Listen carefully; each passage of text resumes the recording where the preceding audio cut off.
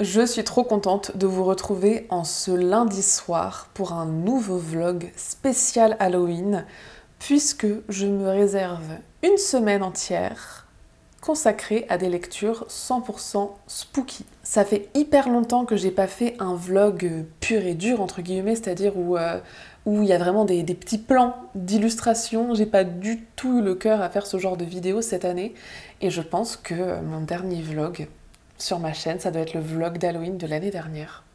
Oh, le temps passe trop vite, c'est abusé. Cette semaine, il va enfin faire frais. Il va enfin faire moche. Bref, l'automne est réellement là, mes amis. Là, je regarde les arbres, ils ont déjà changé de couleur. Et moi, j'ai envie de me lire des livres qui font un petit peu frissonné. J'ai envie qu'on se mette dans l'ambiance ensemble puisque l'ambiance n'a pas voulu venir à nous pendant des semaines et des semaines. Bref, je m'arrête maintenant parce que je, me connais, je vais parler pour rien dire et euh, on est le soir. La lumière va baisser progressivement et il s'agirait de terminer cette intro avant qu'on se retrouve dans le noir. En tout cas, j'espère que vous êtes prêts, que vous êtes prêtes pour des lectures qui font frissonner, pour des petites recettes automnales et pour de la détente parce que je sais que vous êtes nombreux à aimer les vlogs qui sont très posés, euh, dans lesquels il se passe pas grand chose, mais voilà, où on filme un peu les, les, petits, les jolies choses du quotidien. En tout cas, moi je suis trop contente et trop motivée euh, à filmer cette vidéo. Et sans plus attendre, je vous montre ce que je compte lire cette semaine, sachant que, voilà, je le dis à chaque vidéo, mais cette année, la lecture et moi, c'est un peu compliqué, mais là, je pense que j'ai vraiment... Euh, j'ai que des page turners dans cette palle pour la semaine. Et en plus, c'est vraiment une petite palle. Je pense que c'est largement, euh, largement lisible en, en 7 jours. Le premier livre que j'ai envie de lire, c'est évidemment Les Aiguilles d'Or. Oh, il est tellement beau. De euh, Michael McDowell, qui est l'auteur de la saga Blackwater, qui est sortie l'année dernière chez Monsieur Toussaint L'Ouverture. J'avais tellement adoré cette saga. Euh, et, on était tellement nombreux à vouloir lire Les Aiguilles d'Or dès sa sortie, euh, là plutôt dans le mois, il est sorti le 6 octobre. C'est donc notre lecture du euh, book club sur, sur Patreon. Je sais qu'il y a déjà des gens qui l'ont lu, bah en même temps ça fait deux, ça fait deux semaines je crois. Oui on est, on est le 16 je crois, ça fait 10 jours qu'il est sorti. Donc je suis un petit peu en retard mais je pense que je vais le dévorer en, en deux jours. Il fait genre 500 pages, un Blackwater ça fait 250 pages, je lisais un Blackwater par jour. Si on est sur le même délire, je pense que ça en deux jours c'est englouti. Ensuite, parce que j'aime toujours me mettre un petit graphique quand je fais des vlogs comme ça, que ce soit des, des rédatons, des week-ends d'amis ou juste des petits vlogs de lecture, une BD alors oui, bien sûr, tout ça, c'est des livres de ma palle du pumpkin. Enfin, déjà que je suis en, en gigapan de lecture depuis mars, euh, on va pas abuser en plus à essayer de lire des trucs que j'ai même pas mis dans ma palle. Je me suis acheté The Nice House on the Lake. Ici, je sais qu'on va suivre des gens qui ont été invités par un mystérieux propriétaire d'une villa euh, gigantesque. Le mec est très riche et euh, je pense qu'il va se passer des choses très étranges. Et derrière, on nous dit juste, et toi, tu l'imagines comment la fin du monde? Ça a l'air euh, ça a l'air totalement spooky. Regardez, genre cette planche. Voilà. Puisque les aiguilles d'or de Michael McDowell, je pense que c'est un peu frissonnant, euh, l'éditeur nous vend ça comme un roman qui est à la croisée d'un David Copperfield, que j'adore d'ailleurs, de Dickens, et un Sleepy Hollow de... c'est Washington Irving, je crois, qui a écrit euh, la légende de Sleepy Hollow que je n'ai jamais lu et que je n'ai pas vu non plus d'ailleurs. Euh, je suis pas très comédie musicale, pour tout vous dire. Bref, je pense que Les Aiguilles d'Or, c'est un petit peu glauque et un petit peu frissonnant, mais sans être dans de l'horreur pure et dure. Et j'avais quand même envie de me challenger et de lire un truc qui fait vraiment peur. Et donc, j'ai pris euh, dans, dans, ma palle, mon critère c'était un livre qui soit pas trop long euh, pour que ce soit pas trop décourageant pour la pauvre personne que je suis qui n'arrive plus à lire, que ce soit en français pour les mêmes raisons, euh, que ce soit...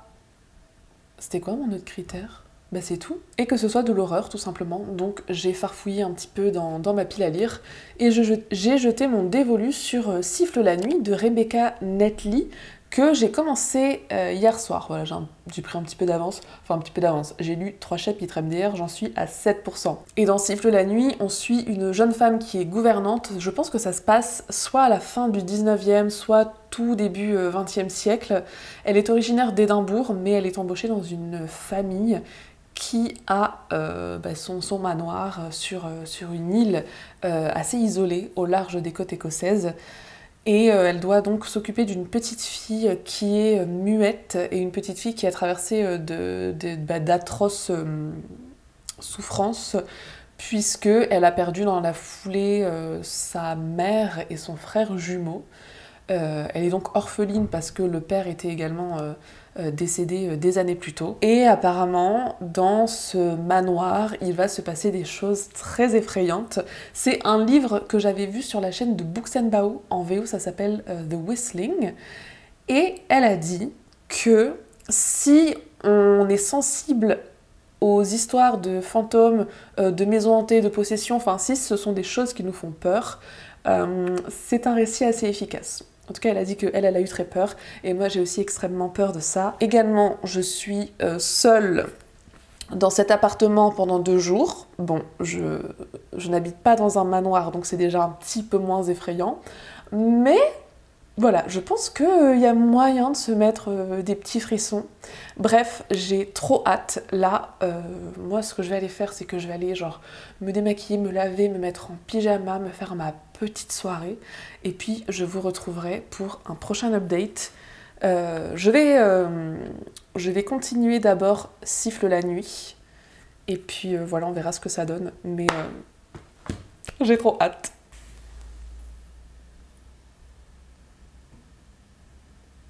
Je ne sais plus comment on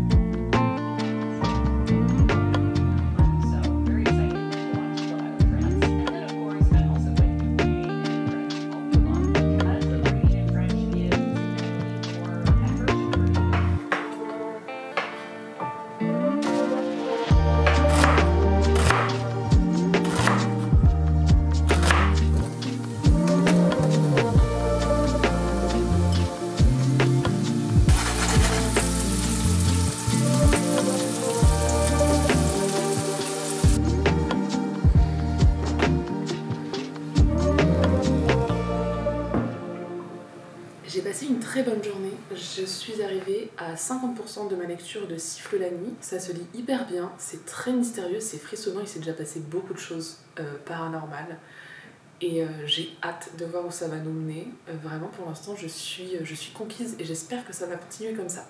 Ah mince, j'ai oublié de fermer la fenêtre, du coup il y a du bruit. J'espère que je pourrai le terminer demain et, et passer à la suite des lectures.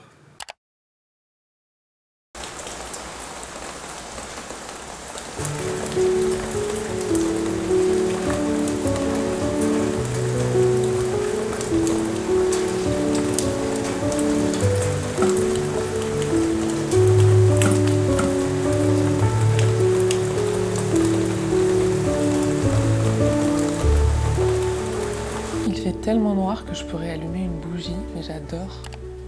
Je sais pas si vous entendez le son de la pluie, certainement, parce que le micro est assez efficace.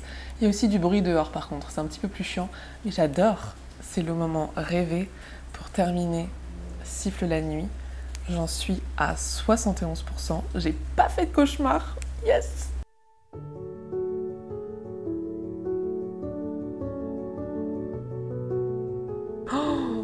Heureusement que je me suis arrêtée avant ce chapitre hier avant de dormir. Sinon, c'est sûr, j'aurais pas dormi. C'est horrible.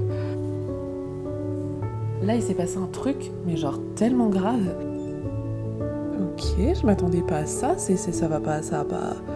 ça va pas être si simple quand même. Partie 3. Je suis vraiment trop contente parce que jusqu'à présent, ce vlog est un franc succès. Ce matin, je me suis posée avec euh, mon café et euh, siffle la nuit. Le chien, pas quand je filme. Pendant une heure et demie, je ne me suis pas arrêtée de lire. Je ne me souviens même pas de la dernière fois que ça m'était arrivé de lire aussi longtemps sans aucune distraction, sans penser à quoi que ce soit d'autre, sans penser à mon téléphone. Et je pense qu'on peut donc dire que euh, Siffle la nuit a été une lecture extrêmement efficace pour moi. C'est un roman contemporain qui est sorti il n'y a pas si longtemps que ça, mais qui reprend tous les codes, tous les canons du roman gothique d'époque, et ici plus particulièrement du roman gothique d'horreur. On a une jeune femme qui a perdu toute sa famille dans des circonstances assez tragiques, qui arrive dans un lieu qu'elle ne connaissait pas auparavant, et plus précisément dans un grand manoir un peu vétuste, qui a mal vieilli, euh, qui est décrépit, qui est assez vide, sur une île isolée et sauvage au large des côtes écossaises. Et dans ce manoir vit euh, ce qu'il reste de la famille Gillies, c'est-à-dire la petite fille Marie, qui a malheureusement perdu ses parents et son frère jumeau très récemment, avec sa tante. Je ne sais pas en quelle année ça se passe exactement, mais imaginez une époque où euh, il n'y a pas encore l'électricité, où on s'éclaire à la bougie, où on se chauffe euh, avec euh, la chaleur de la cheminée. Voilà, le décor est planté et évidemment dans ce manoir et dans cette famille, on ne sait pas trop d'où ça vient, il y a une espèce de malédiction, en tout cas des choses étranges se passent, il y a des bruits inquiétants dans la maison, la petite fille elle est muette, elle ne parle plus depuis euh, la mort de son frère, et donc forcément on a tout ce setting euh, qui est ce que j'aime le plus en littérature, enfin qui fait partie de ces ingrédients que j'aime le plus en, en, littérature, et donc forcément ça a hyper bien fonctionné pour moi. Le pitch est assez classique mais comme je le disais déjà, l'intrigue, elle est, elle est très bien ficelée. Le suspense ne repose pas sur une certaine frustration, comme c'est souvent le cas dans ce genre d'histoire, où on se dit Ah, mais le personnage, il devrait faire ci, il devrait faire ça, elle devrait dire ceci, elle devrait dire cela. Je ne veux pas trop en dire parce que euh, c'est un roman à mystère, c'est un roman d'horreur. Euh, d'ailleurs, si comme moi vous êtes une énorme flippette, je pense que vous pouvez quand même y aller parce que moi j'ai eu un peu peur mais euh, j'ai pas eu des moments où j'étais euh, terrorisée. Après, j'avoue que le moment où on lit certains passages, ça change tout. Genre ce matin, j'ai lu des trucs qui faisaient peur, mais bon, c'était le matin, euh, c'est pas pareil. J'ai eu la chance de ne rien lire de terrifiant, par exemple quand j'étais dans mon lit, dans le noir, quoi. Moi, c'est un roman que j'ai dévoré. Euh, j'ai beaucoup apprécié ma lecture, comme vous l'aurez compris. Je pense pas que c'est un roman qui va me marquer pour des années, mais c'était vraiment très efficace. Euh, je l'ai lu selon ma liseuse en à peu près 5 heures, je pense. Donc si vous lisez un petit peu plus rapidement que moi, sachant que moi je prends mon temps et qu'en plus c'est 5 heures que j'ai étalé sur 2-3 euh, jours, vous pouvez carrément le lire le jour d'Halloween. C'est une histoire parfaite pour ce moment-là, et s'il fait le temps qu'il fait aujourd'hui, mais vraiment le cocktail de rêve. Sans trop vous spoiler, je peux juste dire que j'aurais aimé, je l'avoue, un final un petit peu plus grandiose, un petit peu plus haletant. Euh, je trouve que le rythme est assez bien maîtrisé globalement, mais que la fin était peut-être un petit peu rapide. J'aurais aimé quelque chose d'un petit peu plus sulfureux, d'un petit peu plus noir, d'un petit peu plus... Euh, oh non Même si encore une fois, comme je l'ai déjà dit, c'est vraiment un bon livre qui tient la route, qui a le mérite d'être très facile à lire. voilà. Franchement, une Trop bonne découverte et je suis trop contente. Cet après-midi, on va faire un pumpkin bread avec les potimarrons que j'ai cuits euh, lundi soir et qui ont déjà servi pour, euh, pour mon petit velouté d'hier soir. Il n'est pas très tard donc je pense que je vais le faire maintenant comme ça, il sera prêt pour le goûter. Et pendant que ça cuit, il faut absolument que je m'occupe de euh, mon sondage pour le choix de la lecture du book club sur Patreon pour le mois de novembre parce que je ne l'ai pas encore fait et que, euh, bah, mine de rien, j'aime pas trop attendre le dernier moment pour qu'après tout le monde ait le temps de se procurer euh, le livre qui aura été choisi, sachant que le sondage, je le laisse toujours ouvert 4-5 euh, jours. Donc on va faire ça cet après-midi et j'ai bon espoir du coup de pouvoir commencer ce soir peut-être The Nice House on the Lake. Je pense que ça va se lire d'une traite et si tout se passe comme je l'ai prévu, d'ici demain, à mon avis, je commence Les Aiguilles d'or de Michael McDowell.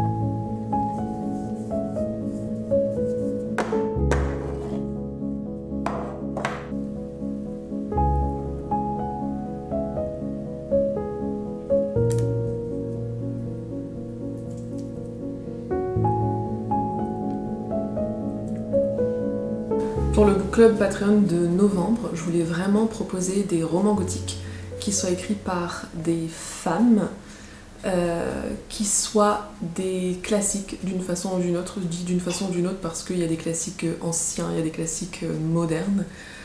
Vous entendez certainement le four qui fait tic tic tic derrière. Je suis désolée pour le, son, la luminosité est affreuse mais il fait vraiment pas beau aujourd'hui.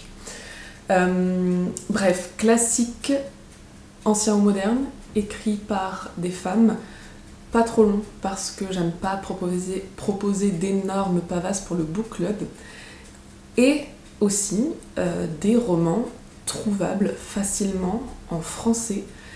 Et ben avec tous ces critères, je vous avoue que c'était pas facile ce mois-ci et je n'ai retenu que trois titres parce qu'il y a plein de romans intéressants mais qui ne sont plus édités, qu'il faudrait trouver d'occasion. Euh, je suis même pas sûre que tout le monde pourrait euh, se procurer un exemplaire. Euh, il y a plein de titres qui m'intéressent mais qui sont très contemporains. Et voilà, j'avais vraiment envie que, je sais pas, qu'on découvre quelque chose qui, euh, qui étoffe peut-être un peu notre culture littéraire, même si euh, c'est totalement de la culture aussi de lire des choses qui sont très récentes, hein, mais j'avais envie qu'on se concentre sur voilà, des romans qui ont, qui ont passé l'épreuve du temps. Du coup, euh, j'ai choisi Les Hauts de Hurlevent d'Émilie Bronté, qui est sorti euh, au milieu du, 19e siècle. Je pense que niveau classique euh, du roman gothique, il n'y a pas mieux. D'ailleurs, c'est un roman que j'ai déjà lu et que j'avais pas spécialement apprécié. Je l'avais lu en anglais à la fac, mais ça fait quelques années maintenant que j'aimerais beaucoup me refaire une opinion potentiellement différente. En tout cas, je l'espère. Est-ce qu'on n'est pas très bien? Ah, c'est pas mieux là, comme ça. Ensuite, j'ai choisi euh, le magasin de jouets magiques d'Angela Carter. Là, j'ai mis la couverture VO parce que regardez comment elles sont tellement coordonnées. J'adore. Euh, il est dispo en français chez Bourgois euh, à 8 euros dans un petit format, mais la couverture est vraiment extrêmement chum. Et ensuite, j'ai mis la boîte en os de Antoinette Pesquet, qui est une romancière française. Il me semble que celui-ci il est sorti en 1941. C'est une autrice dont j'ai très peu entendu parler, mais que j'ai vu quand même mentionner sur, euh, sur Booktube, sur quelques, sur chaînes. Et euh, voilà, je me suis dit que ça entrait euh, totalement dans mes critères. Donc maintenant que j'ai mon petit visuel, il faut que je fasse mon article sur Patreon.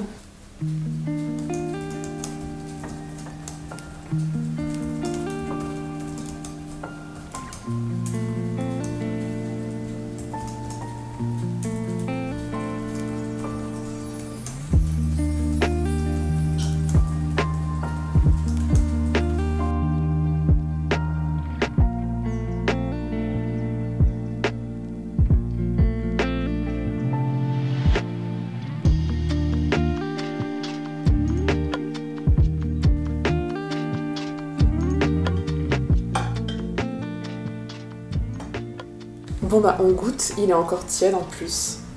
Oh, il est tellement moelleux. Ah ça sent trop bon, trop bon. Je trouve que le meilleur c'est la croûte là, qui est croquante avec des petites graines de courge qui ont un peu grillé. Le milieu est tellement moelleux. En plus c'était si facile à faire. Juste le mec il met 250 grammes de sucre je crois. J'en ai mis 170. C'est largement assez je trouve, surtout que le potimarron c'est sucré. J'adore. C'est très gênant de manger à la caméra, donc je vais finir dans mon coin. Mais maintenant que le sondage est prêt pour Patreon, euh, que le gâteau est cuit, mais il n'y a plus qu'à lire The Nice House on the Lake. Je vais terminer mon gâteau tranquille et je vais commencer la BD euh, sélectionnée pour ce vlog. Et je pense que ça va se lire en deux temps trois mouvements, même si elle est grande et elle est quand même elle est plutôt épaisse. Trop hâte. Bon, et eh bien fidèle à moi-même, j'ai été ultra motivée à filmer ce vlog euh, les trois premiers jours. Et ensuite, je suis tombée dans un gouffre euh, spatio-temporel. Et on est aujourd'hui le lundi 30 octobre. Au début du vlog, j'étais trop contente parce que je disais ouais, il va enfin faire pas très beau, euh, les températures vont enfin baisser. Ah bah oui, ah bah oui, ça fait deux semaines qu'on vit dans le noir, ça y est. Tu vas me dire, on n'est jamais content. En fait, ce qui est très paradoxal avec les vlogs, c'est que euh, c'est très motivant, je trouve. Ça donne envie de lire, ça donne envie de, de faire des jolies prises de vue, mais au final, vu que tu réfléchis un peu à ce que tu vas faire et à ce que tu vas filmer, tu lis quand même un peu moins. Donc en fait, à un moment donné, j'ai juste posé la caméra et euh, je me suis un peu focalisée sur euh, les lectures et puis la vie aussi parce que j'ai pas fait que lire. Mais cela dit, la semaine a été totalement spooky. Enfin, c'est deux semaines d'ailleurs, puisque au final deux semaines se sont écoulées. Que ce soit dans mes lectures, dans ce que j'ai regardé, euh, dans la météo, dans ce que j'ai mangé, c'était trop cool. J'ai enfin terminé la saison 1 de Twin Peaks, qui est une série parfaite pour la saison que j'avais d'ailleurs commencé euh, avec euh, la petite watch party euh, de Cornelius en août. Non mais c'est indécent, je suis encore plus lente pour regarder des séries que pour lire des livres. Twin Peaks, c'est une série policière qui se passe dans un état des États-Unis. Je sais plus si on est dans l'état de Washington ou un petit peu plus à, à l'est, mais on est très près de la frontière avec le Canada. Euh, il y a des pins, il y a des séquoias, euh, c'est très humide. Et en fait, il y a une, une jeune femme qui est euh, assassinée, enfin qui est retrouvée morte. Et on va suivre l'enquête policière. L'ambiance est parfaite parfaite pour la saison, l'esthétique et tout, j'ai beaucoup aimé. J'ai regardé aussi euh, Crimson Peak, euh, film de Guillermo del Toro. D'ailleurs, pour un Guillermo del Toro, j'ai trouvé que c'était pas trop starbé, genre ça m'a bien plu. Parce que je me souviens qu'il y a quelques années, quand j'avais vu euh, Le labyrinthe de Pan, je m'étais dit, mais what the fuck, c'est quoi ce navet? Et là, Crimson Peak, j'ai bien aimé. On est aux États-Unis au tout début du XXe siècle et on suit une jeune femme qui appartient à la bonne société, qui a une bonne éducation, euh, qui, euh, qui, aime lire, qui aime les lettres, qui est assez indépendante.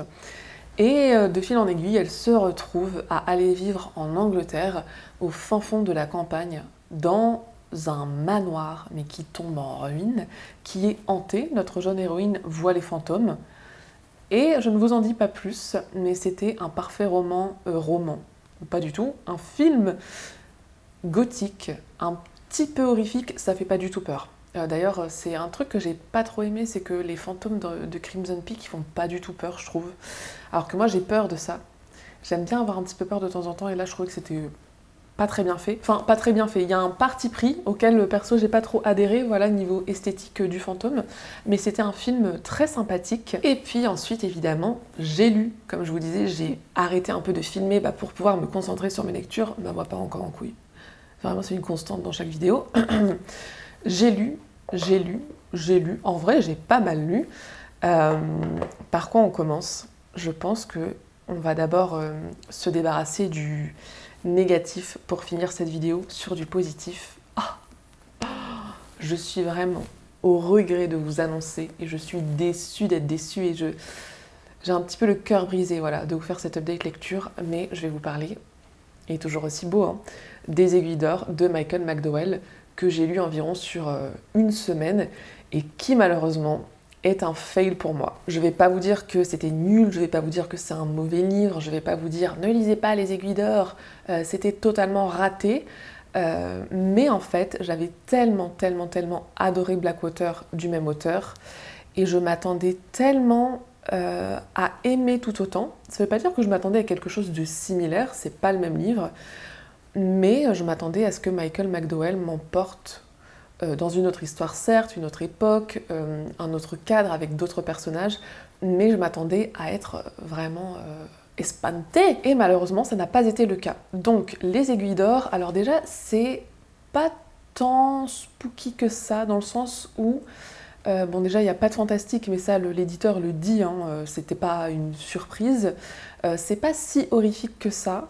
C'est un roman noir, vraiment dans le sens de roman noir, parce que ça se passe à la fin du 19e, parce que ça parle de, de clan, ça parle de, politique. Il y a des questionnements euh, sociaux, il y a des questionnements. Euh, enfin, il y a cette espèce de vraiment de, contraste entre euh, les quartiers très riches du New York de la fin du 19e et, et les bas-fonds. ça parle d'addiction, ça parle de drogue, ça parle de corruption. Donc, en ce sens, c'est un roman noir qui en effet peut rappeler un petit peu David Copperfield par certains aspects. Et donc dans ce sens-là, on est quand même dans l'ambiance un peu euh, d'Halloween et de l'automne parce que c'est assez dark, c'est assez sinistre, c'est assez glauque. Euh, il y a des cadavres, hein, euh, il y a des descriptions assez, assez gore honnêtement. Mais sinon, euh, pour moi, l'ambiance s'arrête là et l'ambiance n'est pas si prégnante que ça. Mon problème avec les aiguilles d'or, je vais essayer de le faire rapidement parce que je sais que je parle beaucoup trop, c'est tout simplement que je me suis ennuyée et que malheureusement, j'en avais rien à faire de l'histoire et j'en avais rien à faire du sort des personnages. Je sais pas si c'est moi qui suis complètement passée à côté ou si, en vrai, je, pense, je trouve qu'il manque quand même un petit truc euh, qu'on a dans Blackwater par exemple et qu'on n'a pas dans les aiguilles d'or. Les aiguilles d'or, c'est pré-Blackwater. Euh, donc certainement que l'auteur s'est amélioré entre temps, je ne sais pas. Je crois que j'avais déjà fait le résumé en début de vidéo, mais on va suivre deux familles qui vont s'affronter. Une famille euh, très aisée, euh, issue de, ouais, d'une espèce d'aristocratie new-yorkaise, et une famille qui fait son beurre sur des petits délits, des petits crimes, parce que parce que pas d'autre choix. Et on va suivre au fil euh, d'une année euh, les affrontements qui vont avoir lieu entre ces deux familles. Il y a pas mal de personnages, on a un petit arbre généalogique au début du roman, mais euh, je trouve que les personnages sont vachement moins bien campés que dans Blackwater par exemple. C'est pas vraiment pour comparer, mais voilà, c'est pour vous montrer que j'ai pas du tout retrouvé ce qui m'avait plu à la base dans l'histoire de, de, McDowell. Pour tout vous dire, à la fin du roman, je savais toujours pas trop qui était qui, qui faisait quoi, j'oubliais les prénoms des gens, euh, j'en avais rien à faire de leur sort. Je me suis beaucoup ennuyée, j'ai trouvé que c'était très long, c'est un roman qui fait 515 euh, pages et euh, qui, dans lequel il y a beaucoup d'enjeux mais qui finalement sont pas hyper bien retranscrits selon moi, enfin qui manquent un peu de, je sais pas, de, c'était pas très haletant, c'était pas très surprenant je me suis vraiment laissée porter sur une histoire que j'ai trouvée assez plate finalement et dans laquelle, selon mon ressenti, il s'est pas passé grand chose alors qu'en fait il se passe des choses.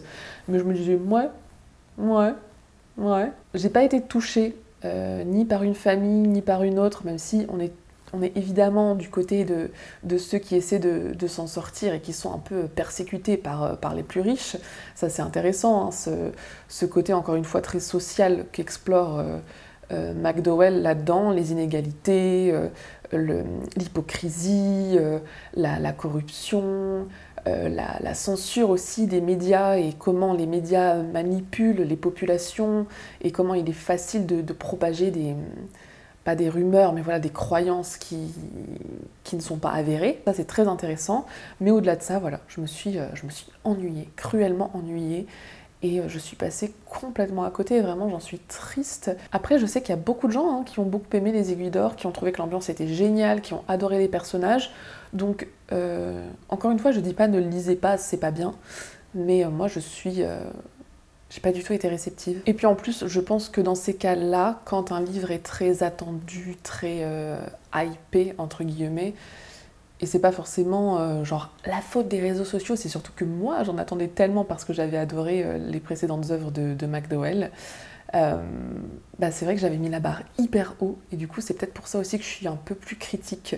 Mais bon, c'était c'était vraiment, voilà, si je devais lui mettre une note par exemple, je lui mettrais la moyenne parce que c'est pas nul, mais c'était pas transcendant de mon côté. je suis triste. Ensuite, écoutez, j'ai tellement aimé. La dernière fois qu'on s'est vu, je commençais The Nice House on the Lake. J'ai tellement aimé le premier volume que quelques jours après l'avoir terminé, je suis allée acheter le deuxième. Euh, oh, j'adore. Encore une fois, The Nice House on the Lake, c'est pas spécialement automnal dans le sens où euh, bah, déjà ça se passe pas spécialement en automne, euh, c'est pas de l'horreur. En fait, je savais pas trop à quoi m'attendre et je vais pas trop vous en dire parce que je pense qu'il faut se lancer dedans sans trop en savoir mais on est sur du mystère, ça c'est sûr, sur une espèce de thriller un peu psychologique, avec un petit aspect SF. En tout cas, c'est un huis clos qui se passe donc dans une maison euh, de luxe. Et en fait, je pense que la raison pour laquelle j'ai beaucoup aimé, c'est parce que vraiment on est sur des, thèmes qui me plaisent vachement. Déjà, j'adore les huis clos. Vraiment, plus j'en lis, plus je me rends compte que c'est un, un trope, un cadre euh, qui marche toujours avec moi. Et je pense que ça relève peut-être d'un fantasme que j'ai, mais dès que une histoire, que ce soit un livre, un film, se déroule dans une grande maison, qu'elle soit ancienne, moderne, qu'elle soit en très bon état, très luxueuse ou plutôt décrépite, je sais pas pourquoi, mais c'est un truc qui me fait vibrer. J'adore, j'adore les maisons, les châteaux, les manoirs, tout ça. Euh, et, c'est pour ça que euh, j'adore des films comme Parasite par exemple, euh, que j'adore des livres qui se passent, enfin dont les personnages principaux sont presque la maison dans laquelle se déroule l'histoire. Et donc ici j'ai été servie parce que bah, parce qu'on est dans ce cadre de, de maison immense où nos personnages ont absolument tout ce dont ils pourraient rêver. Et en fait je crois que j'ai un peu envie d'y être. Même si t'as pas envie d'être dans cette histoire, mais dans cette maison, oui. Donc comme je vous ai dit, je vais pas vous en dire plus pour le pitch. On suit une dizaine de personnages qui ont été invités dans cette maison, et ensuite il se passe quelque chose, et on est en huis clos. Mais j'ai trouvé ça cool parce que c'est hyper mystérieux, parce qu'on a vraiment envie de savoir euh, qu'est-ce qui se cache derrière tout ce qui est en train de se passer. Euh, on a envie de démêler le, le, vrai du faux. Et puis les personnages, ils sont intéressants à suivre. J'aime bien quand on a une grande galerie de personnages.